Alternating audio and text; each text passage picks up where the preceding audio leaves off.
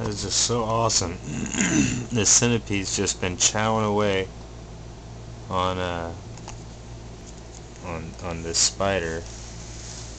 Oh, there we go. Now I got a little bit of light.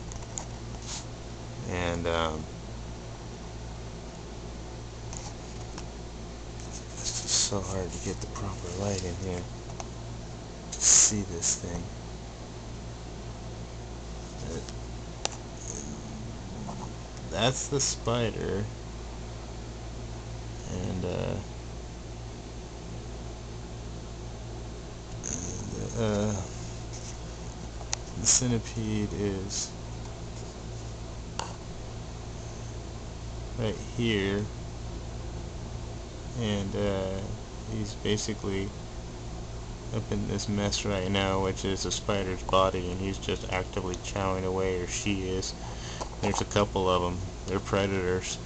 And uh, I sure would have liked to get the fight on film um, in the future. I'm sure do look forward to it. see, here's another one over here. See, they love, they tunnel.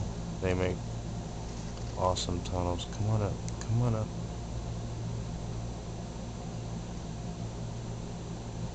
Like their playground. Region. I don't know, she's afraid. I don't know how many are in there, but I think if I leave this alone, then two or three will come out and start macking and eating on that. Come on. Hopefully this will move and you'll see it.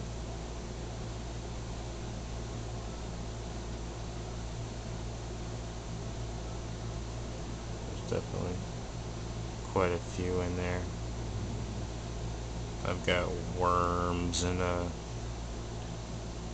millipedes and um, stuff in my uh, medium. And um, I don't know what whatever the fuck that is you can see it.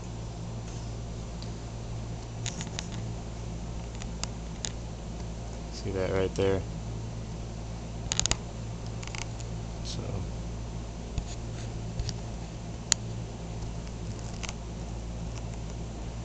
They'll stay in there you know it ain't gonna crawl up your ear or anything. Well at least I haven't had that problem yet but they'll uh that's a predator right there and that'll that in theory that's that's just looking for like I mean I think that would have taken on a very big spider bigger than this piece of perlite right there. Like a huge spider is what is what this oh, is what this is what this was. And it's just so hard to see in this light whatever